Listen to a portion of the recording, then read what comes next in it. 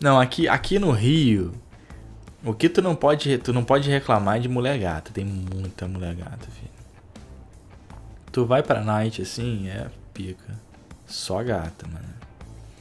Tu vai pra boate no centro, assim, na Lapa, só gata, só gata, só gata. No shopping, vai no shopping da Barra, é, é, é, Qual é o nome daquele shopping lá na Barra que só tem rico, cara? Que tem a loja da Apple. Village Mall. Caralho, só tem rico naquela porra, filho. Só tem rico. E no Via Parque, mano, é que ah, no Via Parque tu só vê as mulheres vão com, tipo assim, com, com, com as crianças. Com o nome das crianças é Josh. Qual é o nome de uma menina rica aí? Kimberly, isso aí. Josh Kimberly, uma boa, pô. E você vê assim, vai a mulher, o Josh, a, a Brittany e, maluco, três empregados atrás. Três empregados. Aí a mulher fala assim, ó, vai lá brincar com a porra do meu filho lá dentro. Pode ir lá brincar com meu filho. Só madame, filho. É bizarro. Você vai no Via Parque, é só assim. E outra coisa, eu vou no Via Parque, eu fico até com vergonha do meu carro. Caralho, que só tem BMW naquela porra. BMW, Mercedes. Tu fica sem graça, mano. Eu vou lá com o meu Cliozinho, os caras nem deixam estacionar do lado deles. O cara chama a administração do, do, do shopping. Mas que esse cara pensa que é? Estacionar esse carro aqui do lado. Que ano esse carro? Que ano esse carro? Pô, 2006. 2006, cara. Estacionado do lado da minha BMW. Sinto humilhado, mano. Chama o reboque. Tire ele daqui imediatamente. Francamente, aí faz assim com o terno. E vai embora. Por isso que eu só vou no Village Mall. Toda vez que eu venho aqui é isso. É essa palhaçada. Tipo o filme Parasita, né? É foda, cara. É foda. Não, não é assim não. As pessoas são, as pessoas são educadas. Mas é, você vê que é uma, é uma discrepância muito grande. É, é outra realidade. Os caras têm muito dinheiro. É bizarro. É outra realidade. Cinema do Village Mall é escolar. Pô, Village Mall, cara. Ó, Village Mall é uma pica, cara. Pô, antigamente, quando eu era mais novo, assim, eu me sentia malzão nesses lugares. Eu me sentia malzão. Hoje em dia eu meio que, que se foda, entendeu? Eu não ligo, não. Agora eu faço parte. Não, faz não, cara. Eu sou o emergente da barra. É o samba da é a música do samba da caixa preta do Lobão. É o emergente da barra, cara. Ganha 27k por mês. Filho, isso aí pra eles não é nada. Nada, nada, nada. 27 mil que o cara dá de comida pro cachorro. Igual o, o maluco do Santos. 27 mil os caras gastam numa viagem. 27 mil de maconha, igual o Monark, isso aí. Uma vez eu fui procurar um emprego, em um shopping de luxo de São Paulo. O vendedor olhou para mim e disse: Seus problemas acabaram. Achei que ele tinha visto minha pasta de currículo, daí mandam: Tu tá precisando de um tênis novo, né? E apontou pro meu tênis furado. Que isso, cara? Teu tênis tava furado? Como é que você vai procurar um emprego com tênis furado? Eu ia falar a mesma coisa para você. Ó, quando você vai não procurar um emprego, você tem que ir com a tua melhor roupa, a melhor de todas. Não vai lá com ar de humildade, de pobreza, de jaules não, filho. Você tem que ir lá e você tem que se achar o pica. Não vai de pobreza não, cara. Ninguém gosta de pobre não mas hoje em dia estão contratando os mais desconstruídos emprego em nome da diversidade. É, eu não cheguei a pegar isso não, que eu trabalhei, sei lá, 2018, não cheguei a pegar essa porra de diversidade não, mas acredito que tenha. É porque hoje em dia, hoje em dia como não tem emprego, até os ricos ganham pouco tá ligado? Assim, o filho do rico que tá fazendo uma faculdade de relações públicas na UERJ, tá ligado? Ele ganha aí um salário de dois mil e pouco, três mil. Mas você mesmo falou que os garçons eram pintados cabelo colorido. Não, é, na, no Outback eu vi uma, na verdade uma era assim, que me atendeu. As outras eu não prestei atenção. Eu ganho 3 mil e é foda sobreviver em São Paulo. Não, é foda. Eu acho que eu acho que o salário hoje em dia é difícil, cara. Você conseguir um salário aí de 5 mil, 6 mil é difícil, cara. Cara, eu fui o primeiro colocado no processo seletivo e não entrei por ser gordo e feio. Banco de investimento suíço em SP. Querem gente bonita para atender os ricaços. É, mas eu sempre falei pra, pra todo mundo, cara. Ser bonito é melhor que ser rico e que ser inteligente. Porque se você for bonito, você provavelmente vai ficar rico e você ainda pode fingir que é inteligente. Você bota um óculos, né? Não vê o Roger aí do Fluminense que finge que é inteligente com óculos? Se você for bonito, então. É isso que eu falo com os, com os caras aqui no canal, Camila. Já falei várias vezes. Filha da puta tem a internet a, ao favor dele. O que que ele faz? Bota um monte de foto de otaku, de menina de, de Nier Autômata com a bunda de fora. E o caralho, um monte de merda, um monte de sacanagem. Aí tá procurando emprego. Aí o cara vai lá, qual é o nome do filho da puta? É fulano de tal. Aí entra no, no perfil do cara e fala, cara, esse maluco é um psicopata. Não vou contratar essa porra desse cara. É lei de 2003, que isso aí. Não vou contratar esse cara. Agora, quando o cara usa a porra da rede social com uma pessoa normal, bota a tua foto lá, tua foto da família, os lugares que você sai. Usa sim, filho. Usa a seu favor, porque as pessoas estão te olhando. Ah, não, Baltar, mas eu nem tenho. Então foda-se. Então aí que nego não vai te contratar mesmo. Vai falar, quem é esse doente mental que não tem nenhuma rede social? Tu vive aonde, cara? Eu não sei nem quem você é. Para mim você não existe para mim. Para mim você não existe. Não tem rede social, não. Não, não, não gosto dessas modernidades, não. Ah, é, não gosta de modernidades. Ela vai anotar lá, não gosta de modernidade. Não gosta de rede social. Fica olhando assim pra você. Não gosta. Eu acho que ele é retardado. A mulher. Aí quando você entra no perfil dela, tá lá, Big Brother.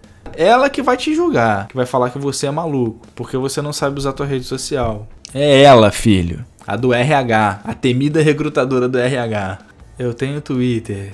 Problema? Desde que você não seja o demônio no Twitter. Cara, você contratar pessoas é complicado hoje em dia. Hoje, é, hoje em dia o currículo não serve mais pra porra nenhuma. Hoje em dia o mais importante é. O, o, a primeira coisa, currículo você tem que ter foto. Aí o pessoal fala assim: não, não bote foto no currículo. Bota foto. Se você for bonito, então, ou bonita, bota foto na porra do currículo. Se você for feio pra caralho, aí talvez seja melhor não aparecer. Mas desde que você tenha uma carinha normal, não seja um psicopata, não pareça o Charles Manson, bota foto no currículo. Porque você vai ver um monte de currículo sem foto. Caralho, esse cara tem foto.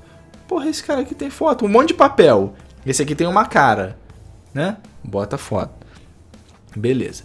E hoje em dia, é muito mais importante que você tenha networking. Por isso que você tem que fazer faculdade. Não é porque na faculdade você vai aprender a construir um robô, não. Tu não vai aprender porra nenhuma. Mas você vai ter networking com outras pessoas que vão entrar no, meio, no mercado de trabalho junto com você, vai conhecer gente de outros cursos, vai conhecer uma porrada de gente e hoje em dia você mantém essa, essa conexão com as pessoas através de rede social, cara. Ninguém para mais, só empresa de recrutamento que para pra ver assim, porra, preciso de um cara que saiba, pô, JavaScript, Jo, é, Node, JS, não sei o que. Vou botar aqui porra nenhuma, o cara fala assim, fulano. Não, pô, fulano trabalhou comigo. Chama ele aí. Aí liga pro fulano. Ah, não tem ninguém? Pô, tem outro. É tudo assim, cara. Por que, que o cara vai perder tempo procurando alguém que ele nem sabe quem é e se vai dar certo ou não? É, é assim, é imediato. É aqui ali, chamou um, chamou outro. Entendeu? Tem empresa que não permite isso. Aí os caras contratam um, um headhunter lá, sei lá, um uns caras para contratar que nunca dá certo também, essa porra. Normalmente quem indica são os melhores da empresa. Não, não, não, não, não. Quando você tá no setor, você tá no setor, o chefe, ah, o gerente que tem que escolher alguém. Ele vai ver se ele tem alguém conhecido. Se ele não tiver, ele vai perguntar pros caras que trabalham com ele. Pô, fulano, tem alguém conhecido aí não? Tem alguém conhecido não? No lugar onde eu trabalhava, era gente que botava os caras conhecidos, cara. Só uma vez que a gente botou um cara que não era conhecido e aconteceu o quê? Deu merda. Agora, você tem que saber, quando você vai botar alguém conhecido, você tem que conhecer muito bem a pessoa. Porque tem os caras que, que não gostam de trabalhar que confunde amizade com trabalho. Aí quando tu dá um grito, é um, é um agora porra, tem que fazer agora porra. Acabou a amizade. O cara fica triste. Isso aí, é. O cara começa a confundir amizade com trabalho. É pica. Outra coisa, outra coisa assim, você usar a rede social, cara. Eu acho que hoje em dia todo mundo precisa usar a rede social tentar ganhar dinheiro de alguma forma.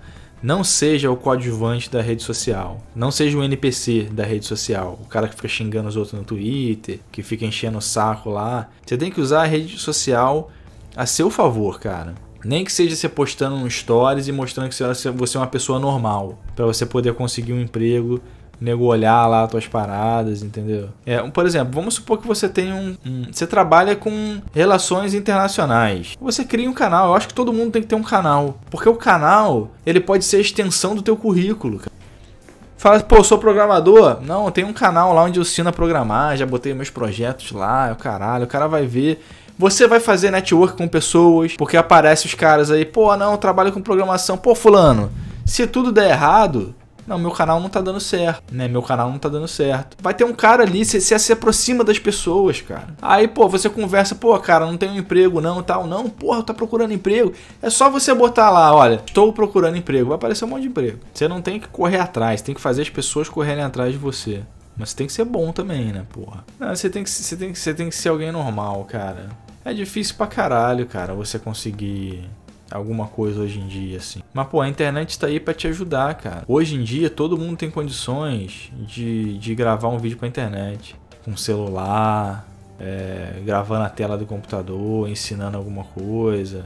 Né? Hoje em dia, você tem condições de aprender sobre qualquer coisa também, aprender de verdade. Paga um curso básico, depois você começa a procurar, comprar livro hoje em dia é muito mais acessível, livro roubado em PDF pirata. Você começa a aprender as coisas, cara. Mulher com OnlyFans consegue emprego? Eu nunca parei para pensar nessa porra, né? Mulher com OnlyFans consegue emprego? Mas elas não usam o verdadeiro nome. Né? Mas aí elas, porra, a mulher tá lá na empresa, trabalha como pô, analista de RH sênior, a mulher com 28 anos, aí entra quem? Entra quem como suporte de informática? O otaku. Ela tá fudida.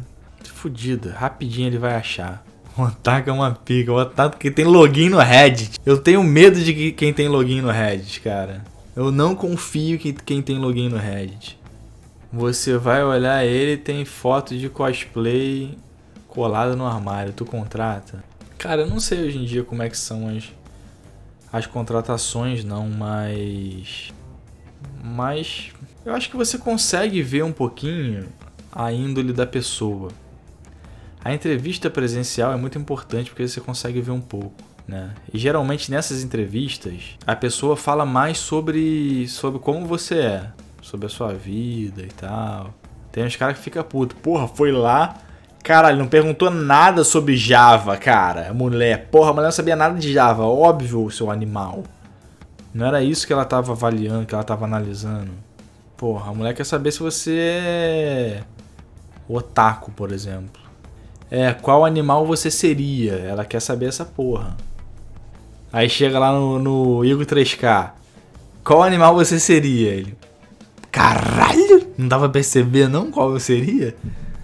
Um ursão grandão, peludo e marrom.